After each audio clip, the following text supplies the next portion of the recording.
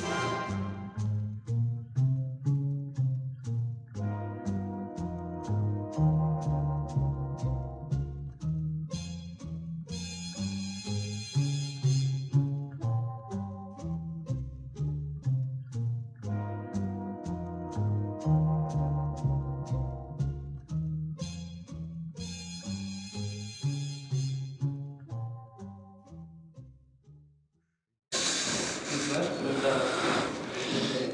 я думаю, что историкам известно, что Россия в плане развития капитализма догоняла другие государства, поэтому, а с этим связано и развитие философии. Оно тоже несколько задержалось в России.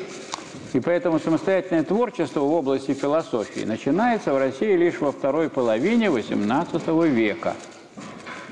Поэтому гордиться нам тем, что мы раньше имели какие-то философские произведения, не приходится. Ну вот уже в XVIII веке появились самостоятельные работы, а в 19, с XIX века начинается эпоха ее интенсивного развития. Когда в России стала просыпаться философская мысль, на Западе давно шла напряженная, активная философская жизнь. И поэтому мы и философии как-то были догоняющей страной. Особенностью русской философии было совмещение ученичества и свободного собственного творчества. Наличие на Западе богатой и творческой жизни имело как положительное, так и отрицательное значение для России. Ну, понятно, положительное в том, что можно было подчеркнуть, а отрицательное, оно как бы делало бессмысленным самостоятельные вроде попытки, там все разработано. С одной стороны, приобщаясь к философии Запада, русские люди как бы сокращали для себя путь вхождения в сложную философскую проблематику, но с другой стороны, собственное творчество было стеснено. Целые поколения России попадали в плен к Западу. Мощь ее собственного гения впервые проявилась в сфере литературы. Литературы. Державин, Жуковский, Пушкин. Русская философия не теоцентрична, то есть не, не, не стоит в центре религии, хотя она не, не отстранена от религии, очень связана, но не стоит в центре. Не теоцентрична, хотя в значительной части глубоко и существенно религиозна. Не космоцентрична, то есть не вопросы э, только природы ставятся, э, оторванные от общества – Поэтому она не космоцентрична. Хотя вопросы натуры философии очень рано стали привлекать внимание. Она антропоцентрична, то есть в центре русской философии человек с его проблемами. Больше всего она занята темой о человеке, его судьбе, всюду доминирует моральная установка. Русская мысль сплошь исторична, она обращена к вопросам истории. Эсхатологические концепции XVI века – перекликаются с утопиями XIX века. Какие можно выделить этапы развития русской философии? Первое. Религиозно-философские представления русского средневековья. Русское средневековье продлилось почти 8 столетий. От признания варягов в 862 году до избрания на царство династии Романовых в 1600 13 году. Общей духовной основой русского феодализма явилось восточное христианство, православие. Иоанн Дамаскин, Владимир Мономах, Нестор Летописец. Философия просвещения. Этот период длится от середины 17 века до первой трети 19 века. Это время европеизации России – Секуляризация охватывает все стороны духовной жизни. Пробудился интерес к науке и философии. Россия обратила взор на Запад. Философия пронизана наукоцентризмом. Появляются Петербургские и Московские университеты. Можно назвать имена Курбского, Феофана Прокоповича, Татищева. Позднее просветительство представляет Теплов, Анечков, Козельский. Идейно-философские течения XIX – начала XX века. На сцену истории вышло поколение дворянских революционеров, декабристы. Это, можно сказать, крупнейшее явление жизни. И в этом смысле ничего такого равного мы, наверное, в других государствах не найдем. Разночинцы – Белинский, Герцен, Чернышевский, Добролюбов, Писарев – ну, понятное дело, что вот Чернышевский является философом, который уже владел диалектическим материализмом. То есть он вышел в философии на самые передовые позиции. А другие, по существу, были соратниками его во многом в политической области. Лидеры славянофильства – Хомяков, Киреевский, Самарин. И шла борьба славянофильства и западничества. Народничество представляли Ткачев, Лавров и Бакунин. Русский марксизм представляли Плеханов и Ленин. Развитие русской философии в послереволюционный период.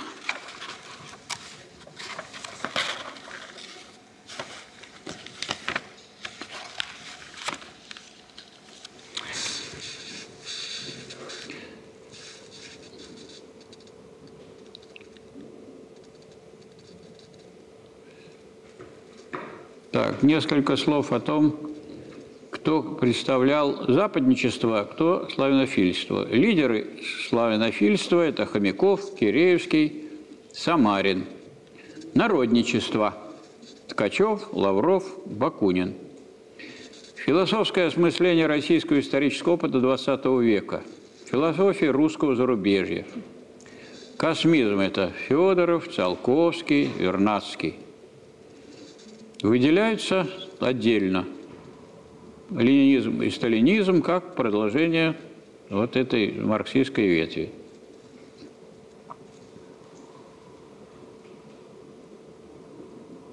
Можно сказать, что за короткий период в России образовалась такая же ситуация, как на Западе, и в смысле освоения Запада Россия даже пошла вперед. Потому что если на Западе марксизм получил свое, свое так сказать, открытие, если Маркс и Энгельс сделали два очень крупных философских шага, которые сделали им имя, а именно они перешли от идеализма к материализму, но именно не к материализму созерцательному, а к диалектическому, и тем самым совершили снятие классической немецкой философии, то есть отрицали с удержанием, с сохранением всего богатства, которое было, то вот вторая часть их работы – это создание исторического материализма, применение диалектического материализма для изучения истории, вот то обстоятельство, что они поставили в качестве, во главу угла тезис о том, что общественное бытие определяет общественное сознание, и все пытались объяснить через поиск корней в производстве, вот эту линию как раз продолжил, продолжили Плеханов и Ленин.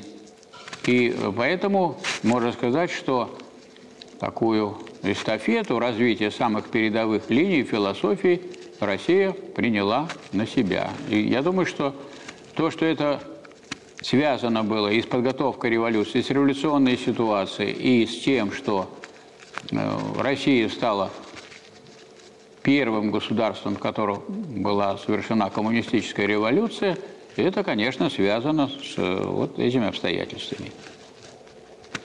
Но поскольку мы к этим вопросам будем возвращаться, мы сейчас на этом останавливаться не будем в плане обзорном, а перейдем к философской антологии. Что такое антология? Логос – это знание да? или изучение, а онт, онто – это бытие. Антология – это наука о бытии. Вот если вы подниметесь на третий этаж и пойдете, так сказать, по коридору около студенческого деканата – находится кафедра антологии и теории познания. Что изучает антология? Бытие. Тут тоже вот есть некоторые проблемы. Проблемы, связанные с тем, что из всей системы категорий выбирается одна категория, и люди делают это, изучение этой категории делом жизни. И они, с одной стороны, выигрывают, как при всякой специализации, с другой стороны, с этим связана известная ограниченность бытия. Если я изучаю только бытие, а как же сущность? Если я изучаю только бытие, как же понятия, а как же законы, а как же действительные. Мне приходилось э, и не раз выступать и участвовать в конференциях по антологии. Я хочу сказать, что человек, который изучал гегелевскую диалектику, чувствует там себя более уверенно, чем все остальные. Почему? Потому что, скажем, я, ну, зная, как устроена наука логики, мог сразу много этих бытий найти. Во-первых, быть чистое бытие, с чего начинается. Во-вторых, наличное бытие, а не просто бытие. Нет, даже во-вторых, бытие не чистое, а просто бытие, которое в становлении. В-третьих, наличное бытие. В-четвертых, нечто. Нечто – это определенное наличное бытие. То есть антологию тоже надо изучать. Дальше пошли. Следующее бытие какое? Следующее бытие – это конечное. Это нечто, взятое со своей имманентной границей. Пошли дальше изучать бытие. Как только вы перешли к бесконечному, бесконечное является тем бытием, которое надо изучать. А истина бесконечная – это не дурная бесконечность, оторванная от конечного, а истина бесконечная, вот мы сегодня уже об этом говорили, о бесконечности человечества и человека – Истина бесконечная – это бесконечное, в котором есть момент конечного. То есть истина-то и есть бесконечное, а конечное есть как приходящий момент. Следующее бытие за бесконечным – это для себя бытие.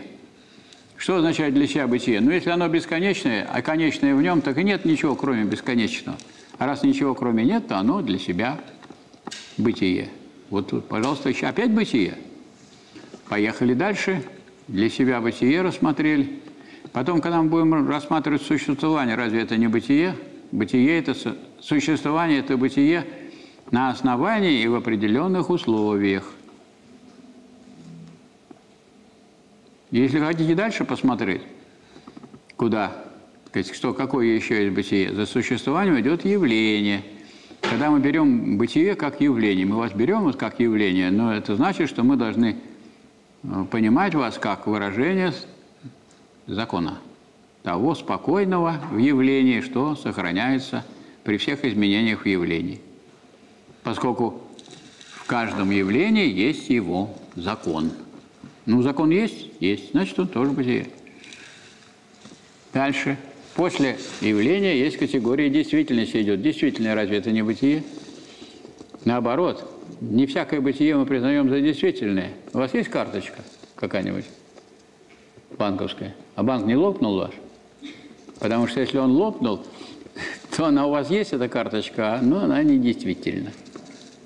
Или я недавно вот пошел, э, меня жена попросила зарплату получить. Я пошел с ее карточкой, оттуда выскакивает, что ваша карта просрочена. То есть карта есть, но она не действительна.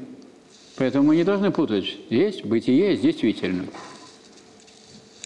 А действительно это что означает? Это то непосредственно, то, что есть вот на поверхности, которое соответствует сущности. Не только в глубине там какой-то закон там есть, а он прямо на поверхности, он, он, он в глубине. Вот убийцы, они же не действительные.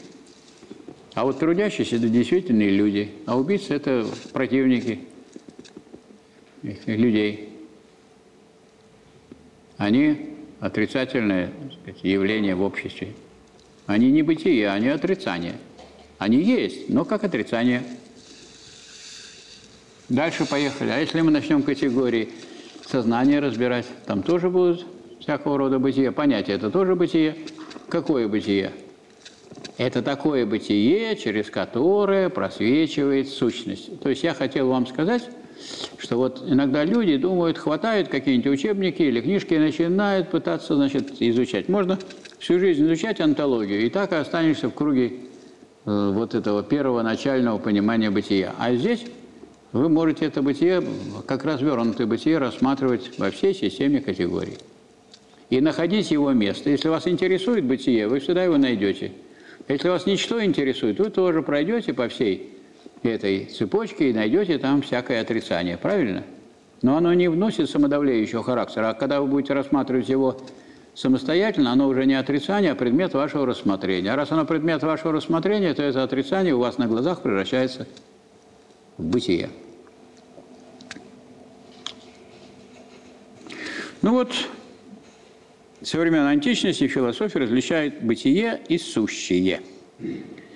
Слышали такое слово «сущее», да?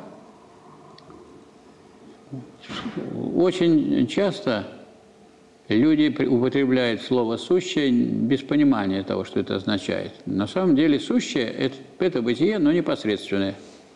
У вас сейчас хлеб есть? Сейчас нет. Деньги есть? Значит, хлеб есть у вас. Но надо пойти и поменять ваши, если бумажку отдать, хлеб забрать. А что такое хлеб насущный? А вот сейчас бы у вас вот здесь в руках был бутерброд. Это хлеб насущный. То есть насущное – это непосредственное бытие. Непосредственно какими-то движениями, путями к этому бытию. А вот сейчас.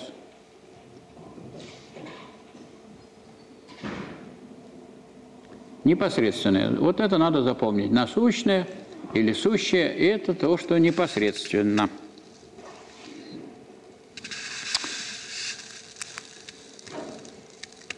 Само слово «бытие» введено Парменидом. Согласно его учению, бытие не возникает, не исчезает, оно существует всегда, иначе оно не было бы бытием, а зависело бы от чего-то, что дало возможность ему возникнуть. Оно неделимо, неподвижно и закончено. Бытие у Парменида умопостигаемо. Но он сформулировал такой тезис. Есть только бытие, а не бытия вовсе нет. То есть он как бы такую антидиалектичную вещь сформулировал. И он даже сам не заметил, что сказав, что бытия вовсе, не бытия вовсе нет, он это вот небытие сам произнес. А раз он произнес, оно в его речи, в его писании при есть, присутствует. То есть оно выступает как бытие. На это вот Гегель обращал внимание. Вы можете взять небытие и начать его, говорить о нем, что его нет, а раз вы о нем говорите, оно есть. Ну, точно так же, как вы можете быть неверующим, атеистом и говорить, слава Богу, я неверующий. В разговоре вы слышали, есть Бог? Есть. Бог есть? Есть. Где? Ну, в разговоре нашем. Он есть в головах у верующих. Он есть как средство получения дохода у попов. Правильно? Разве это Они должны на него молиться, потому что работа чистая. Не, там не надо все время новое изучать, там все надо запомнить потом. Тем более они еще берут и читают. Читают по тексту, как будто они это не знают. Ну, могли бы и выучить за это время. Там ничего нового не появляется.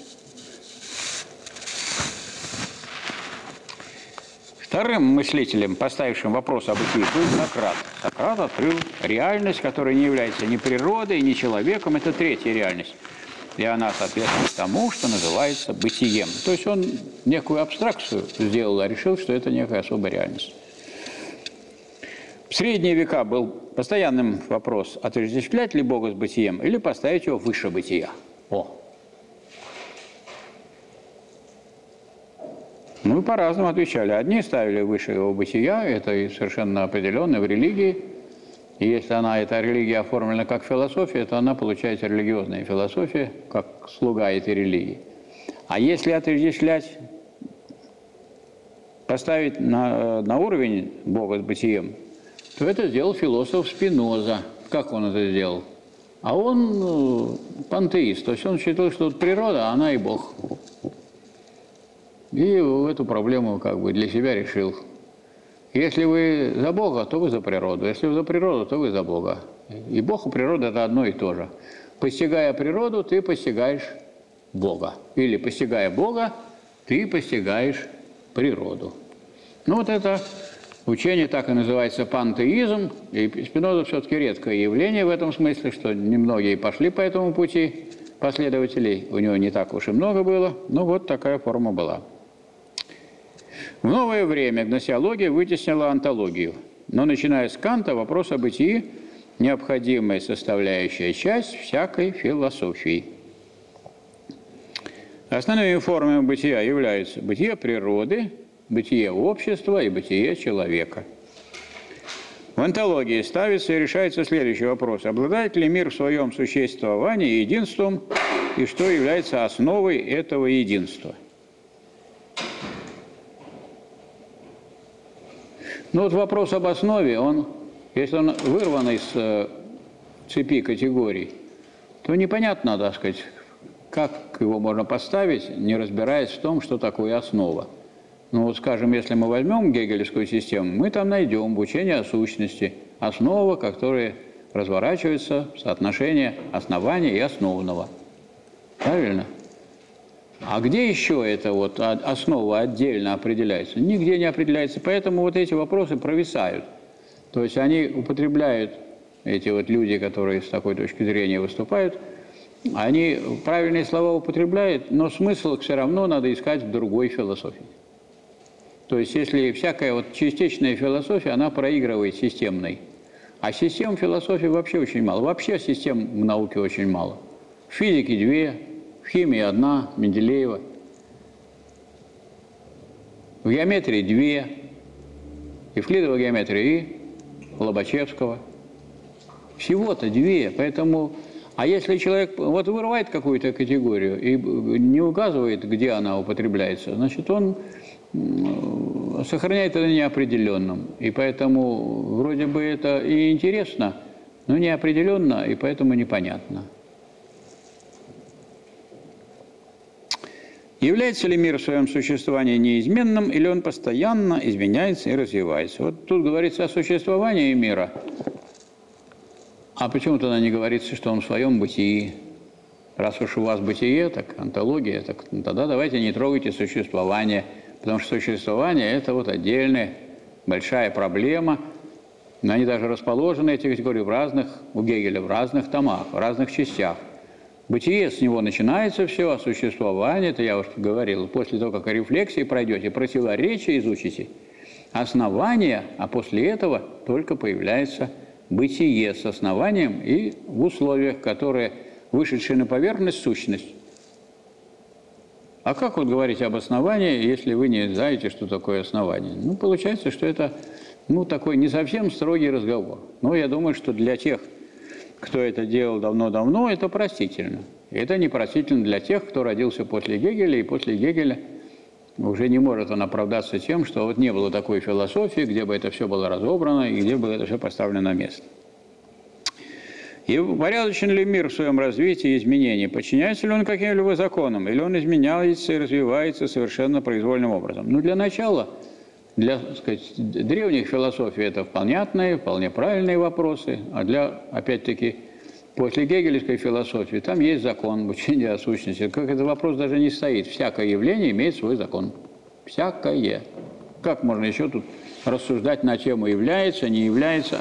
Всякое вообще все, что есть, то и явление. Правильно?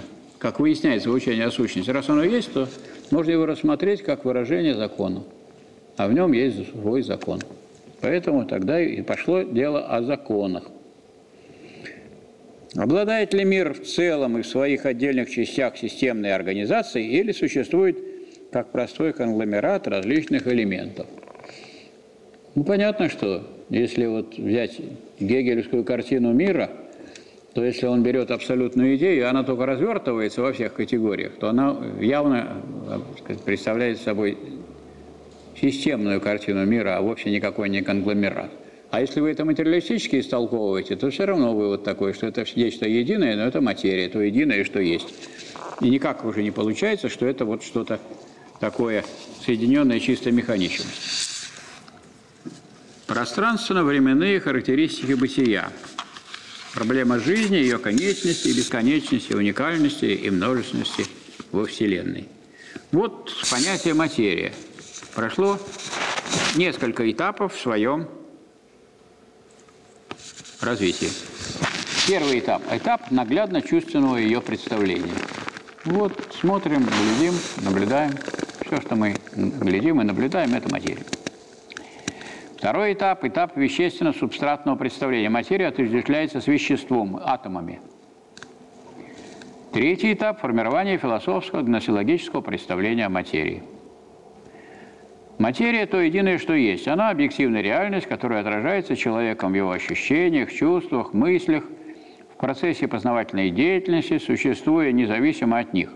Причем первое, что я сказал, это определение материи, то единое, что есть – а второе – это суждение о материи. Понятно, что она отражается в его ощущениях человека, в чувствах, мыслях. Но мы не можем материю определять через чувства, мысли человека, через его отражение, потому что когда не было никакого человека, материя все равно была. И поэтому в определение материи вставлять того человека, который ее отражает, не надо. Это противоречит понятию определений.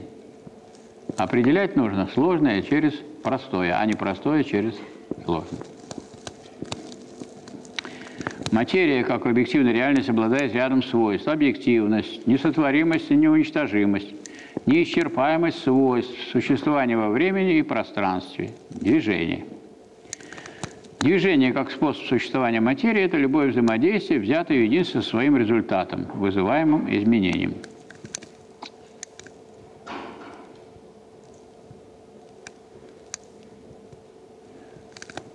Ближе всего к э, пониманию движения вот обычное изменение. Если мы берем материю, она равна самой себе? Материя равна? Равна. Значит, она, она только равна самой себе или не равна еще и? Еще и не равна самой себе. Если она равна и не равна, значит, она находится в движении. Что вы еще хотите сказать? Когда говорят, что она находится в движении, больше ничего и не хотят сказать. Сказать в движении, хотят сказать, что изменяется, что течет, все изменяется. Все в изменении. А что такое изменение? Это равенство с собой и неравенство с собой одновременно. Если я скажу, что вы только равны сами, сами себе, это будет вы воспримете как оскорбление. Вы сидите, я, говорю, все понимал, развил уже свою голову, а тут заявляет, что я остался равным самому себе. Я не чурбан. А это такое философское изображение, как бы такое обвинение, так сказать, намек на то, что, дескать, вы ничего не поняли. Но если я после целой лекции остался равным самому себе, кто виноват? Ну, кто-то из нас двоих. То ли лектор, потому что такой лектор, что он распинался, распинался, и все, остались студенты равными самому себе. Или студент, который, несмотря на то, что лектор что-то давал новое, а он это не усвоил, поэтому остался равным самому себе. Ну, и, и с другой стороны, если он только не равен самому себе, если вы не равны самому себе, какой вывод отсюда надо сделать? Если вы не равны, значит, вы не тот студент, не тот. А документы те отдайте сюда. Их отнесу в деканат. А вы новый себе найдете. Вы же другой стали. Поэтому тоже опасно себя изображать совсем другим. Найдутся люди, которые скажут, раз вы другой, а у вас пропуск тоже есть сюда, в это здание, пропуск первым делом надо отобрать. Пропуск на того был дан, а вы другой. Сами сказали, не отпирайтесь, ну и так далее. То есть, вот, если мы говорим о движении, достаточно его понимания как изменений. Никакого другого Э, так сказать, э, э, более конкретного понимания движения здесь не надо, потому что все остальное будут формы движения, виды движения и так далее. А когда мы говорим просто о движении, то это достаточно понимать его как изменение. Если мы посмотрим на материю с точки зрения равенства с собой, это выражается категорией пространства. Протяженность. То есть как бы мы не берем тот аспект, что она и не равна самой себе, а берем вот мгновенное равенство с собой. Это, эту категорию выражает пространство. Пространство – это же не особый какой-то ящик, куда помещается материя, а это характеристика самой материи. А вторая характеристика материи – это ее изменение, неравенство с собой. Это выражается временем. Не просто э, так э, получается, что э, она не равна самой себе – Каждое следующее изменение – это изменение той материи, которая была. Правильно? А раз это изменение той материи, изменение это изменение той материи, которая есть, в измененном содержится то, что было. А раз содержится то, что было, поэтому время имеет только направление одно. Оно не может быть противоположным. Во времени может быть движение тех или иных частей материи назад, так скажем, от э, созидания к разрушению, от усложнения к упрощению. Но в целом, в целом, и это быстро выясняется, что это не просто изменение, а что это и еще и движение материи. Это в целом, если взять, это и развитие. А развитие всегда допускает только такое отрицание, которое является снятием – То есть отрицание с сохранением прежнего содержания и содержания. Оно сохраняется. И поэтому обогащается все время материя в своем движении.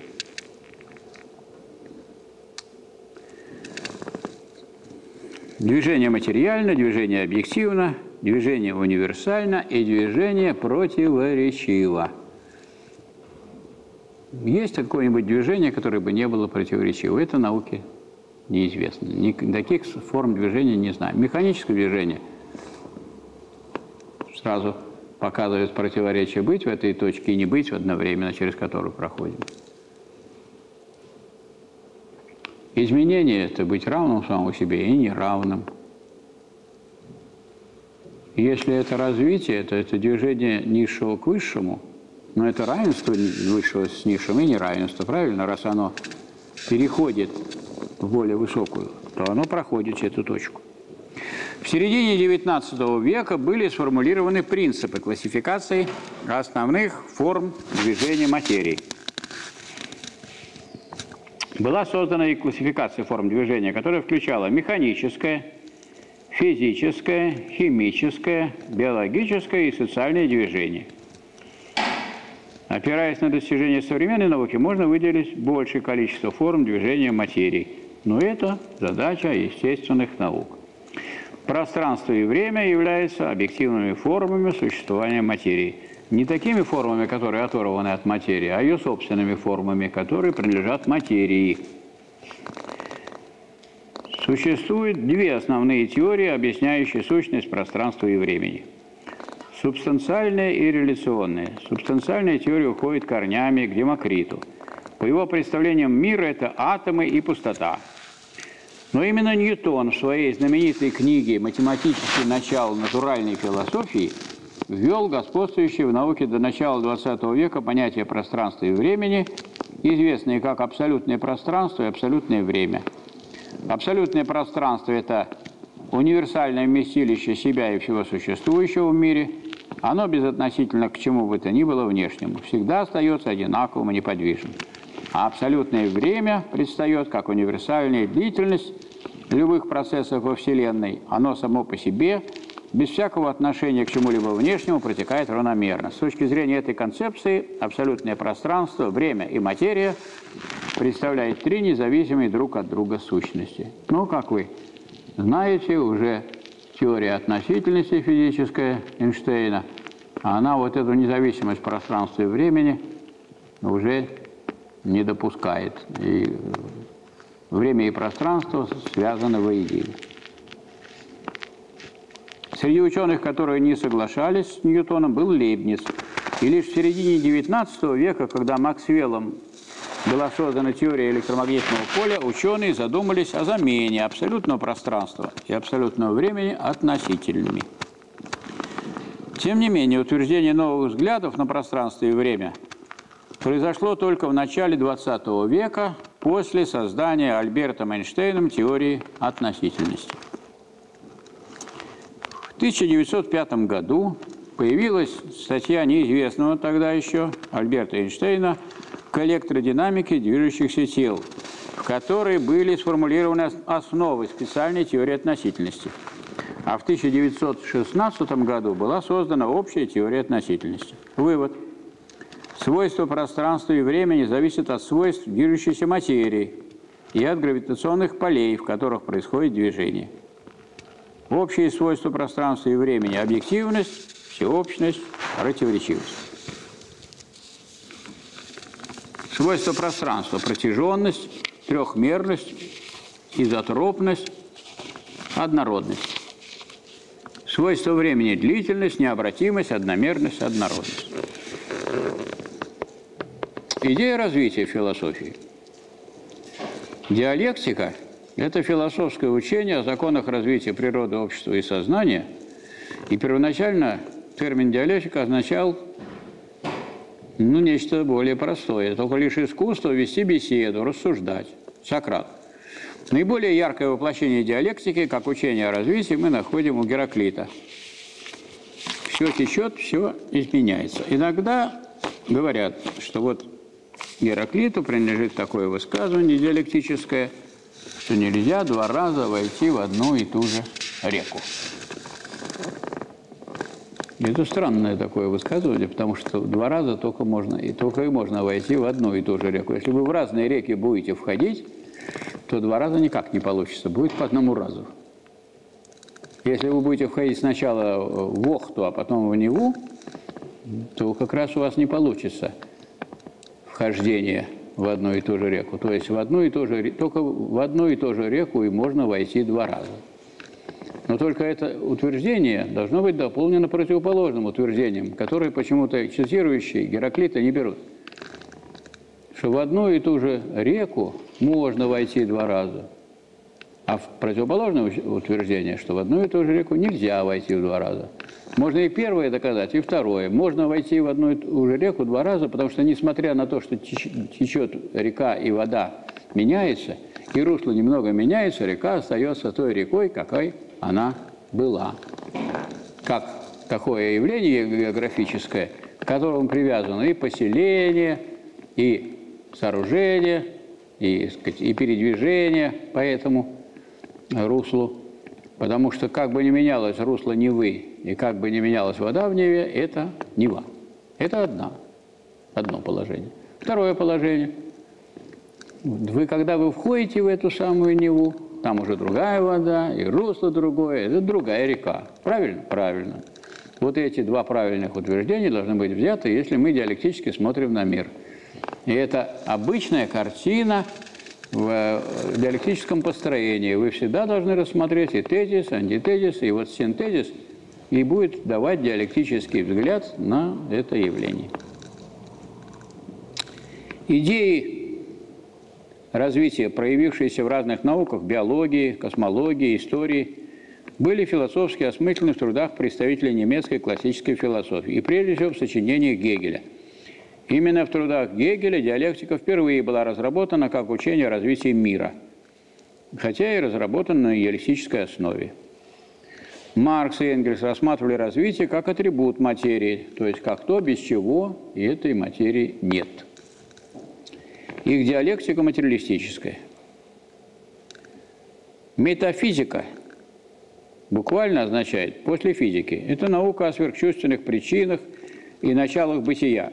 Впервые термин метафизика, который позднее берется как что-то противостоящее диалектике, употребляет Андроник Радовский, первый век до новой эры – назвавший так группу трактатов Аристотеля о бытии самом по себе. Метафизика как метод познания и понимания природы сформировалась первоначально в естествознании, затем была перенесена в философию Фрэнсисом Бэконом и Джоном Локком. Классическая метафизика 17-18 веков – была антидиалектична, то есть не признавалось развитие, и механистична, то есть все формы движения сводились к механической. Неометафизика существует или в форме плоского эволюционизма, или творческого эмержентизма. С XIX века понятие метафизика означает противоположный диалектике метод, отрицающий качественное саморазвитие бытия через противоречие, тяготеющий к построению однозначной – статичной и умозрительной картины мира. Надо сказать, что в последнее время существует мода на метафизику. Это, это вот это метафизический взгляд, в положительном таком смысле, хотя, скажем, у Маркса, у Энгельса и у Гегеля слово метафизическое означало ну, непонимание вообще диалектики, непонимание противоречивости мира. Метафизическое, то есть взгляд на мир как на непротиворечивое целое. То есть неправильный взгляд, не глубокий, поверхностный.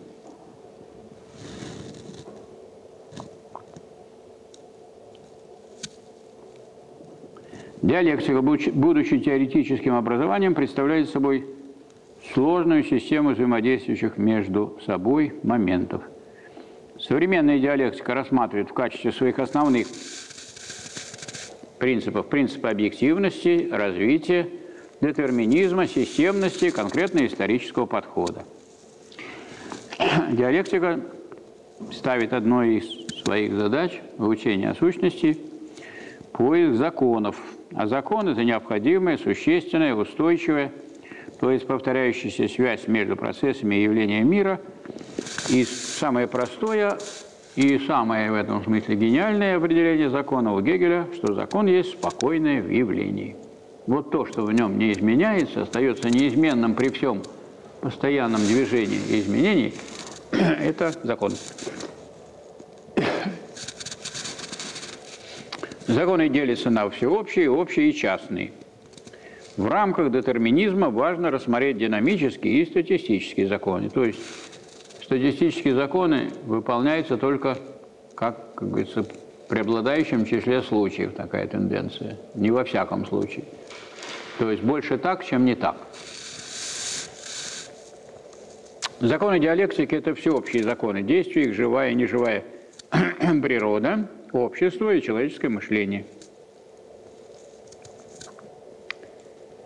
Иногда, так Энгельс делает, выделяют какие-то отдельные законы. Ну, можно сказать, что это, может быть, имеет смысл какие-то выделить законы, но на самом деле закон есть в каждом явлении. С легкой руки Энгельса выделяет три таких закона.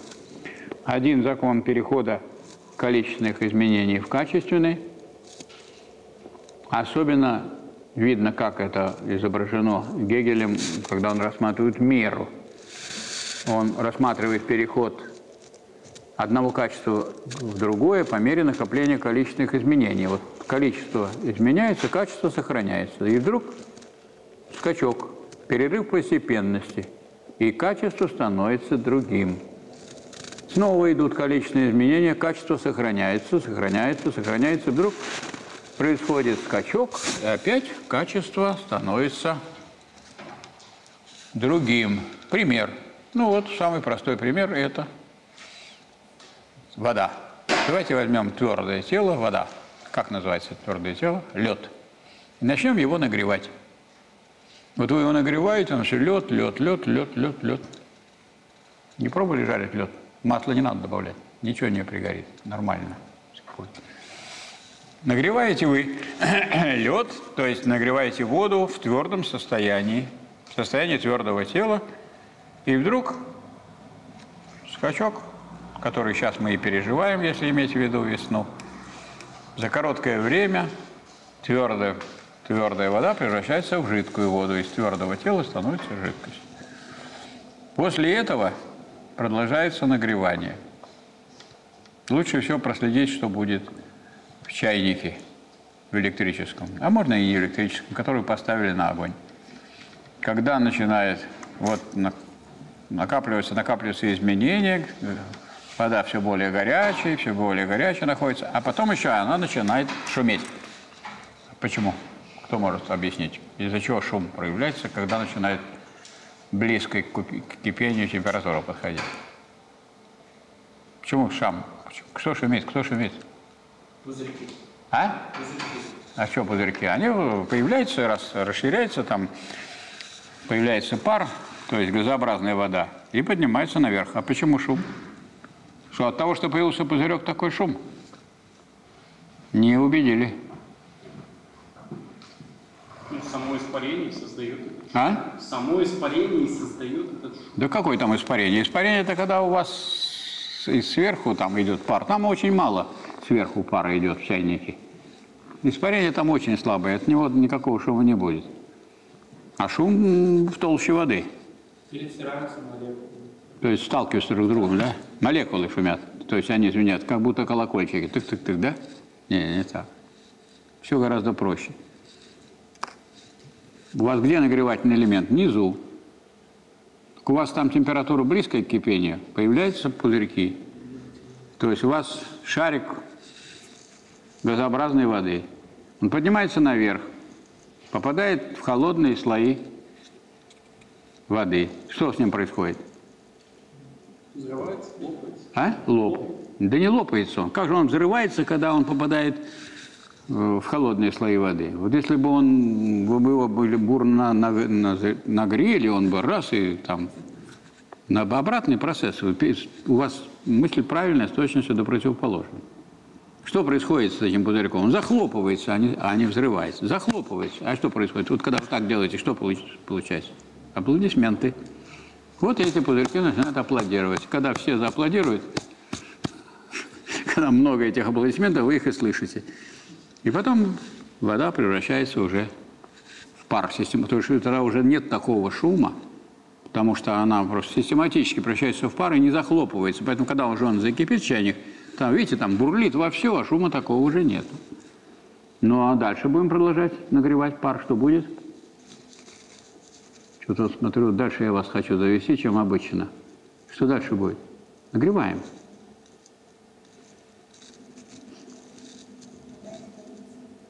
Она уже испарилась. Что будет? Пара не станет тоже. А? Пара тоже не станет. Он начнет остывать и снова падать. Что будет? Он начнет остывать, оседать. Нет, он не начнет остывать, потому что мы его нагреваем все больше и больше. Продолжаем нагревать. Имеется такое условие. В условии заложено, что мы его нагреваем. Вот если будем греть, греть, выше поднимать температуру. 200 градусов, 300 градусов, 500 градусов, 1000 градусов, 1500. Что будет с этим паром? От него ничего не останется. Что-то у вас с законом сохранения энергии вы не, друж- не дружите. Как это ничего не останется, он дает. Да куда можно человека завести? Он даже начинает так... Такие А? элементы, которые содержатся в воде, останутся. Какие элементы? Что за элементы? Как они называются? Какие-то элементы? Что эти? Сера? Натрий? Какой? Какие элементы? Какие Может элементы? быть, он в газ. Так пара-то и есть газ. Ну, Паром называется газообразное состояние воды. А вот это вот, когда э, вот вы видите, видимый, когда вот кажется, что пар, это э, туман, строго говоря. То есть капельки воды. А мы не о капельках воды говорим, а именно о газообразном состоянии воды. Это называется пар. Вот мы этот пар нагреваем еще дальше. Подключаем все наши достижения науки и нагреваем 2000 градусов, 3000 градусов. Что будет?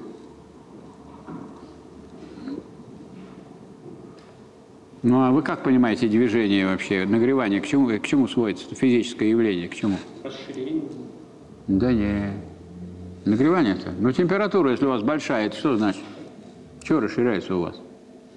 Ничего не расширяется. Что происходит, если у вас высокая температура? Плохо. Плохо вам? Вам хорошо, чему-то вам плохо, кому-то хорошо. Что происходит-то при этом? А? Вот, вот, товарищ знает. Видите, вот, учитесь. Скорость движения молекул увеличивается. А если их скорость все больше увеличивается, то они, сталкиваясь, могут разрушить сами себя. И когда разрушится молекула, еще будет состоять ваша вода уже. Ну, если разрушились молекулы, что? Некоторые говорят, что уже не будет материи тут. Но вы же не будете говорить, что не будет материи. А что будет, когда молекулы? Молекулы из чего состоят?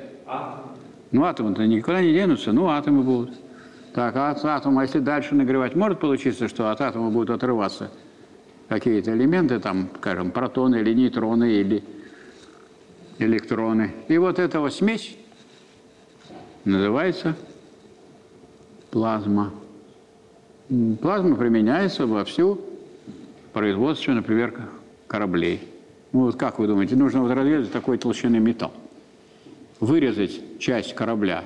Что, пилой, что ли, будете это резать? Какой пилой? Умрете там и никогда не разрежете. А плазмой раз-раз и разрезали в соответствии с заданным планом. Еще одно агрегатное состояние. Вот идет смена. Вот это мы пример э, привели перехода количественных изменений в качественные. С одной стороны, количественные изменения могут прийти качественным изменениям, а если новое качество, то количество уже будет другого качества, правильно? А раз оно будет другого качества, по-другому эти изменения будут. Своя там температура, не будет такой же отрезок, какой там от одного до другого скачка и так далее.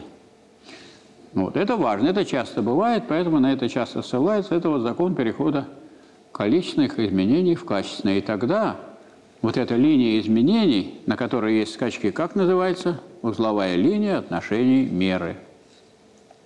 А мера это что такое? Это окачественное количество. То есть, с одной стороны, количество сначала определяется как безразличное совершенно э, граница, а тут оказывается, что она вот безразличная, безразличная, а потом раз, и происходит изменение качества. Поэтому относительно она безразличная граница, как выясняется из дальнейшего. Это вот, можно сказать, третья часть учения о бытии. Если учение о бытии назвать антологией, хотя этого Гегель не делает, но для красоты – если кто-то захотел, то первая часть будет качество, вторая часть количество, а третья мера.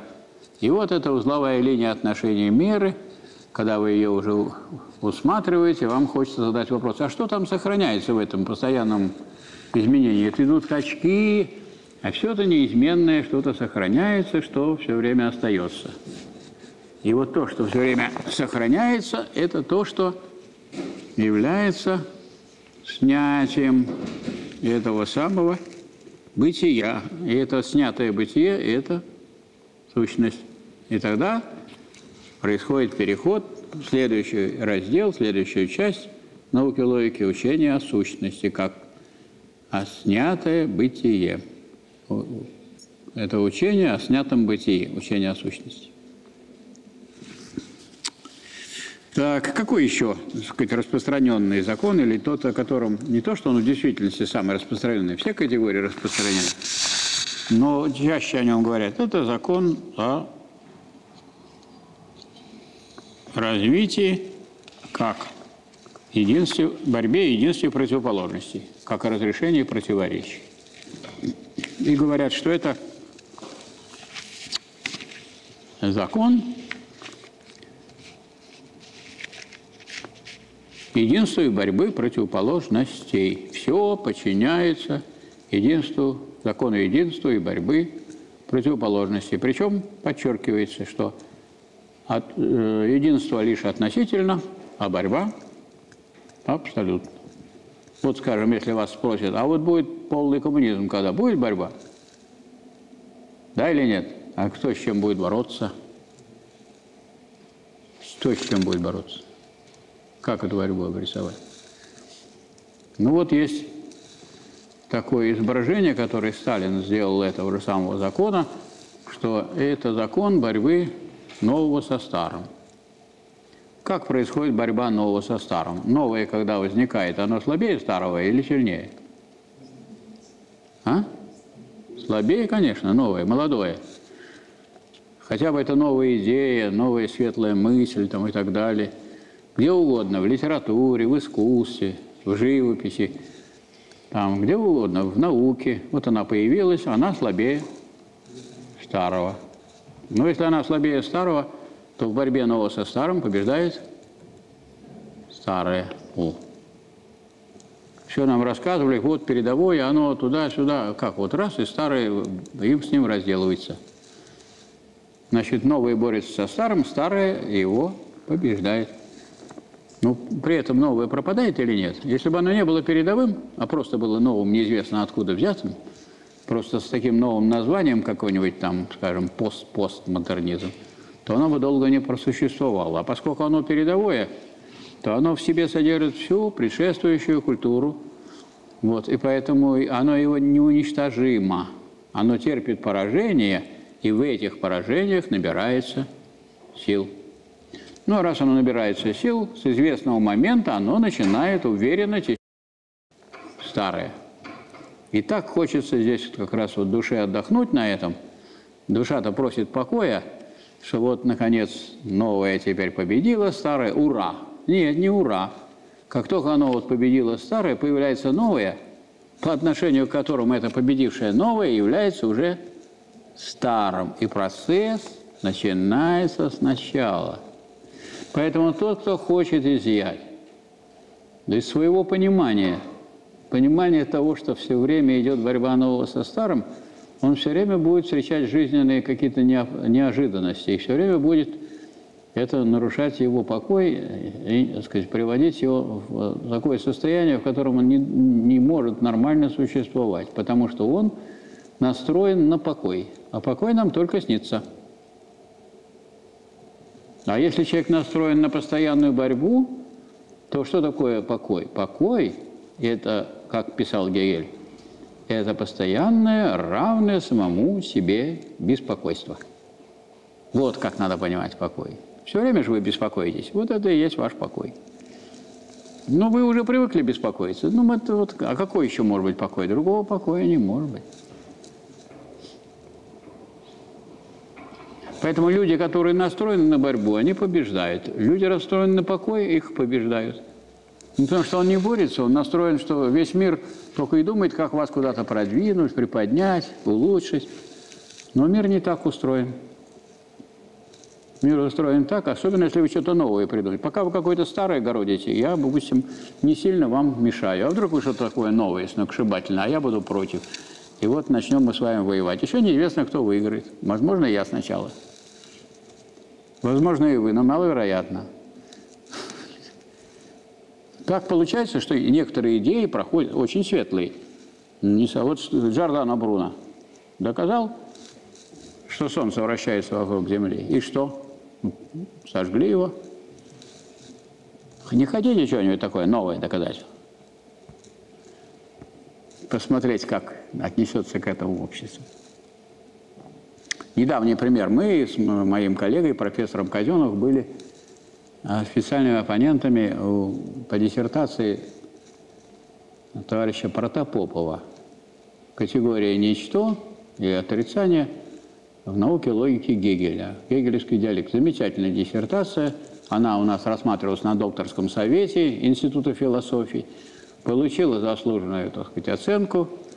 Более двух третей членов совета докторского проголосовало за. Дошла до ВАК.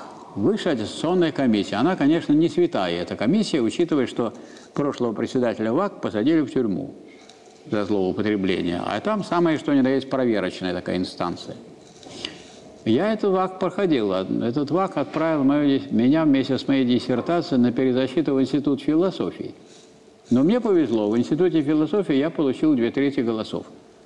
Хотя за новое сразу получить две трети, это, это чрезмерно даже, согласитесь. То есть так устроена, скажем, оценка нового, что вот вы пришли, вы одна сделали новую идею, и вот мы сидим тут профессора, и вот за то, что вы там сделали, мы должны согласиться от своего отказаться, за ваше вот выступить, и две трети. Ну, вы даете. Ну, больше половины, если соберете, уже хорошо. Поэтому со второго, с третьего раза, если пройдете, радуйтесь. А если быстро пройдете, возможно, никого не интересует ваша диссертация, получите свои 4 пятых, и никто на нее внимания не обратит. То есть не радуйтесь, если когда вы прошли. Это наука здесь. Здесь ничего не значит, что вы получили много голосов. Короче говоря, вот в отличие от меня, я, так сказать, прошел в Институте философии второй раз по философии, и на этом, так сказать, мытарства закончились. А товарищ Протопопова, значит, в Институте философии экспертная комиссия сказать, объявила, что он соответствует, а некто Матрошилова, неизвестен мне ее статус в области диалектической философии, и вклад ее тоже неизвестен, она это восприняла как наступление на, на что? На свой авторитет. Оказывается, есть более молодые, и более способные, и более толковые. И она выступила против, и он не получил двух третей, а получил больше половины, меньше двух третей. Это плохо или хорошо? Ну, с точки зрения оценки такой, хорошо же, больше половины. Демократическая оценка. Ну, так сделано, что две трети на, а две трети не получил. Вернулся уже опять доцентом. Не прошел. Ну, что я ему посоветовал? Пишите новую книгу, защищайте снова диссертацию.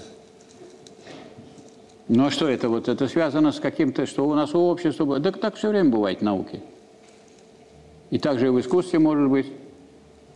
Вот, поэтому мне приходилось однажды выступать. Причем внезапно меня попросила заведующая домом политпросвещения выступить перед драматическими артистами. Говорит, Михаил Васильевич, вот, ну не пришел лектор, ну как-то выручайте, час нужно, час про- простоять. Ну, хорошо, говорю. а- а- Я пришел и говорю, ну что вам рассказать? Хотите, я вам расскажу при- про коммунизм? Все равно жить не будете, не доживете. А, о, интересно, давайте. Я говорю, ну вот я им стал рассказывать, что при коммунизме будет борьба нового со старым. Особенно в области творчества, в которое вы относитесь. Они это все выслушали. Но но я это закончил таким образом, что, следовательно, будут трагедии, будут драмы. Поэтому вы работой будете при полном конце обеспечены полностью. Не знаю, как другие, а вы точно. Драматические артисты. Ну, и похлопали с удовольствием. Если человек настроен на то, что не будет невзгод, не будет борьбы, не будет драки, он попадет как раз, вот, дескать, что-то я хорошее делал, а меня вместо того, чтобы похвалить, поругали, осудили, хотели выгнать, раз его сердце заболело и умер. Не бывает такое? Бывает. Кто умирает? Кто настроен на, на эту тихую мирную жизнь. Но если вы попали в науку, это что такое? Я не получил докторской диссертации. Это же как бы значок этого самого э, героя Советского Союза. Это что, если я не, не герой Советского Союза, что я обиженный, что ли? Что, все должны иметь героя Советского Союза, а докторского? Ну и что, ну ты не получил. Если у тебя в голове есть, так что, это плохо для твоей головы? Тебе обязательно бумажка нужна, а без бумажки ты что, сам себя не уважаешь? Как можно расстраиваться, если тебе не дали докторский диссертацию? Ну, сейчас не дали, потом дадут. Ну, Энгельс не был доктором наук. Маркс был, но это докторская на уровне кандидатской там. Сравнение философии Эпикура и философии Демокрита. Вы знаете, там э, во многих странах на Западе доктор называет философию, если человек первую работу защитил, кандидатскую, и все. А у нас двухступенчатая система. Поэтому, ну, Маркс тоже не доктор, и поэтому даже анекдот есть такой, что говорит, спрашивают, кто такой Маркс? Ну, экономист. Ну, так он просто экономист, а у нас вот тетя Зяма, она старший экономист, а Маркс просто экономист. А Ленин?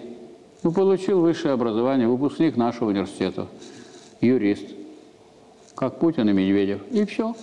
Какие у него еще звания? Никаких. А Путин кандидат экономических наук, а Медведев – кандидат юридических наук. А Ленин вот не кандидат ни юридических, ни экономических. Ну и что это для науки означает? А ничего не означает. Ты безразличны науки, какие у вас степени, правильно?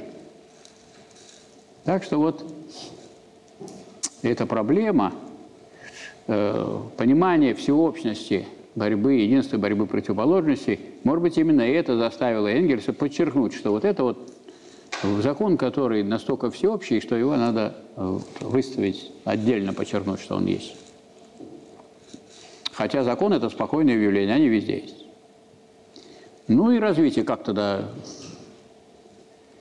понимается? Развитие понимается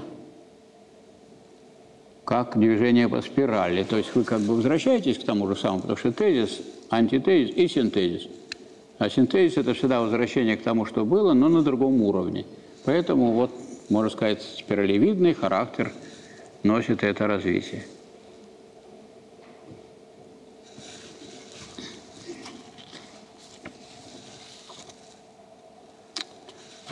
Ну и э, то обстоятельство, что вы в движении происходит, во всяком движении и развитии отрицается с удержанием, с сохранением предшествующего содержания – находит свое воплощение в законе отрицания отрицания. То есть, вот я на вас смотрю. Так? Вы есть некое бытие. Но мне хочется сказать, проникнуть в то, какой у вас внутренний мир, а не просто как вот вы выглядите и все. Правильно? И вы же человек, а человек, он богат не только своей внешностью, но и богат своим внутренним миром. Но если я так и застряну в этом внутреннем мире, надо же вернуться снова к внешности, чтобы за этой внешностью видеть и внутренний мир. Чтобы вот были глаза, и в глазах отражается душа. Так? Это правильно будет?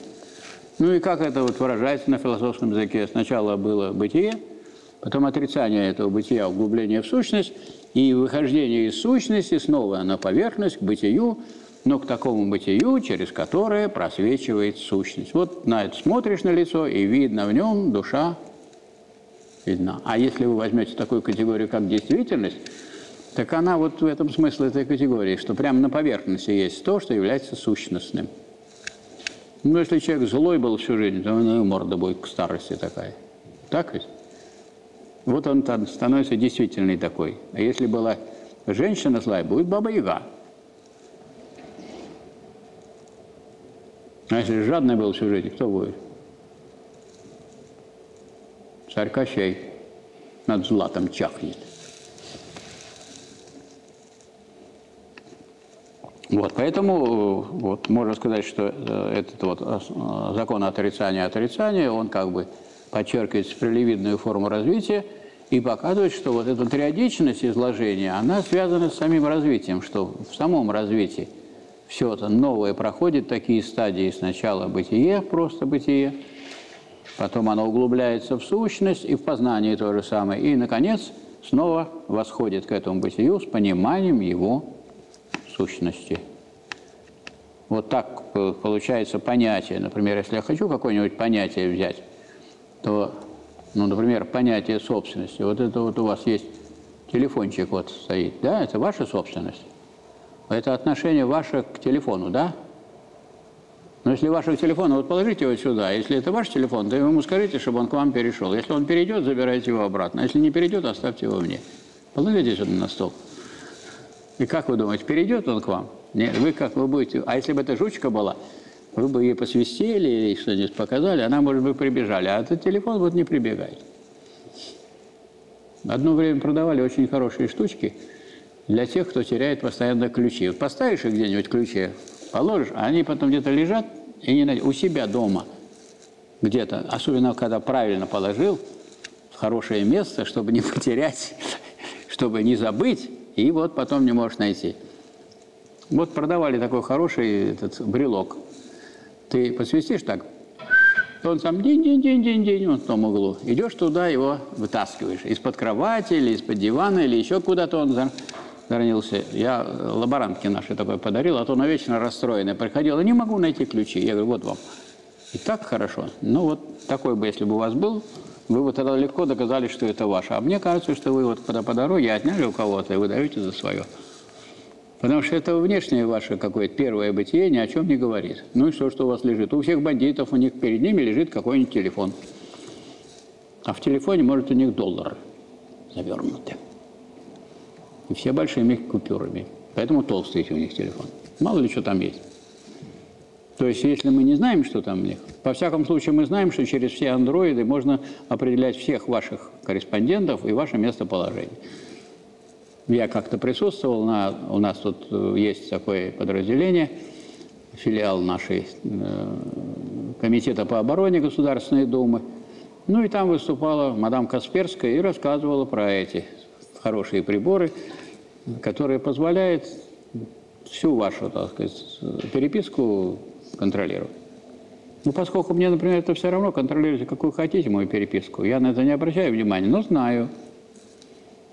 Поэтому, когда люди начинают, их спрашивают, а вот можно ли давать ваш телефон? Ну, я никогда не спрашиваю, откуда взяли мой телефон. Потому что, например, вы пойдете в метро, поедете, и там за 100 рублей вам продадут милицейскую базу, диск за 100 рублей.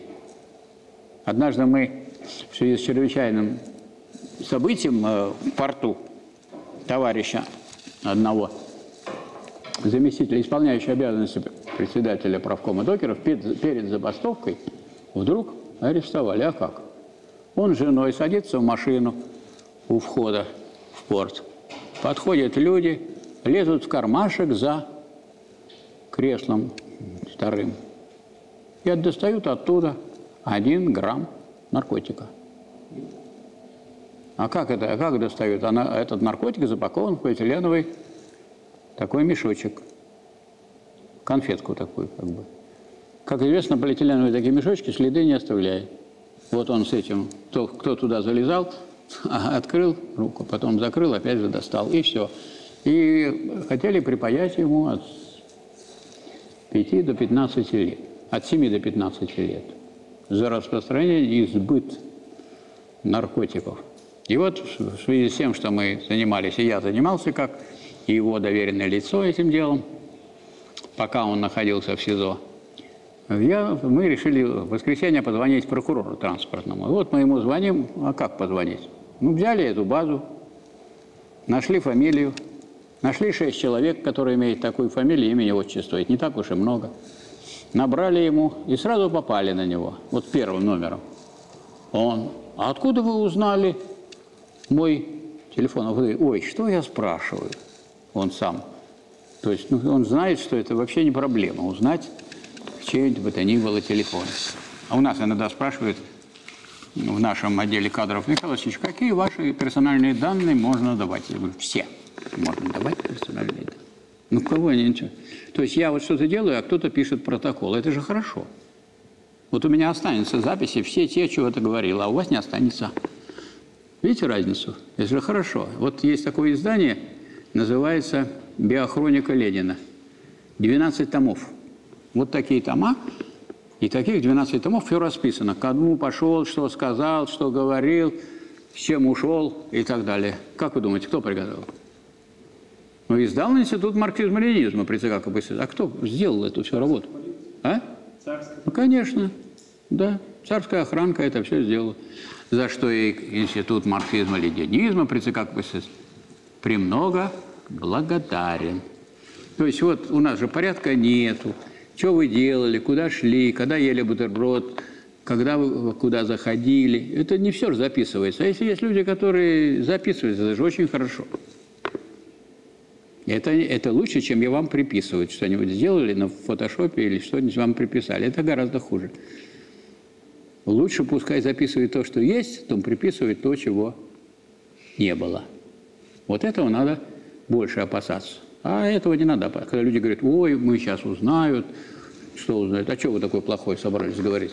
Пусть узнают. Если вас кто-то хочет тиражировать, так радуйтесь, вы как бы уже артистка, вы как бы уже звезда, но только давайте ярче светите, и все, и пусть они освещают. Вообще философия, она настраивает, раз она настраивает на э, понимание постоянного единства и борьбы противоположностей, а не на постоянное спокойствие. Никакого другого спокойствия, кроме такого твердого понимания, что все время есть беспокойство.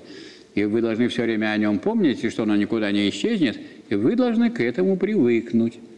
И вот когда вы к этому привыкнете, у вас не будет сердечных болей, расстройств, истерик. И вы дольше проживете, лет на 10. Это разве плохо? Говорят, а в чем польза диалектики? Живете и жить больше будете. Это плохо. Или вам хочется умереть молодым? В этом тоже что-то хорошее, я согласен. Дескать, всегда будут помнить меня вот такой молодой и красивый, а не какой-нибудь там вот в таком возрасте. Вот так обстоит дело с с формой, с основными законами диалектики. А что касается э, законов как таковых, конечно, можно по каждому, по каждой категории, по, по каждому явлению можно говорить о его законе, естественно. Вот, как в физике говорят, есть закон, э, который описывает удар. Например, формула его, не знаю, помните или нет, F равно МВ. МВ – это количество движения – а ФТ – это сила на время. Если очень быстрый такой удар и количество движения большое, вот автомобиль врезается в дерево, а раз он быстро, так сказать, происходит этот удар, ничем он не замедлен, то вот эта сила, с которой он происходит, чем меньше время вот этого удара, тем больше сила. Ну, отсюда и разрушение или повреждение, или ранение. Это тоже закон. А есть там закон равномерного движения, как посчитать там расстояние, которое вы пройдете и так далее. И, а есть закон ускоренного движения, падения, например, с ускорением g. Вот, то есть законов тьма, потому что как бы вы, откуда бы вы ни падали, и с чем бы вы ни падали, какой бы был у вас ни был вес, все равно будет s равно at квадрат, gt квадрат. Правильно? Путь, который вы прошли. И скорость можно посчитать, ускорение и так далее. Какие есть вопросы? Чего у вас нет вопросов нету? То есть это я вас уже настроил на спокойствие, чувствую, чрезмерно.